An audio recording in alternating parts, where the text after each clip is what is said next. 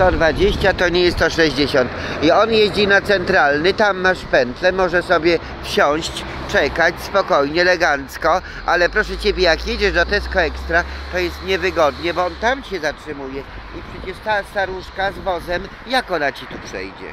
To tylko musi jechać do Marek i z powrotem. Jedzie, zatrzymuj. Ale widzisz, widzisz? Dziad się nie zatrzymał, a ty nie rozumiesz, że będzie za 20 parę minut następny. No mamy czas, bo ja kręcę filmy, ale zobacz. Tu. jak jechałem 140, to jakoś nie uderzał się wcale. No bo za późno się nacisnąłeś, za późno nacisnąłeś. Przecież ci ludzie, którzy pracują, to często w ogóle drzwi nie otwierają. Jak z pętli odjeżdżają, ludziom nie sprzyjają, sobie e, więc nie sprzyjają, bo za którymś razem mu się nie uda, ludzie doniosą to po jakimś czasie, bo e, mówiłam, policja słaba, służby słabe. Dziady pracują, aby się tylko, wiesz, mogły utrzymać.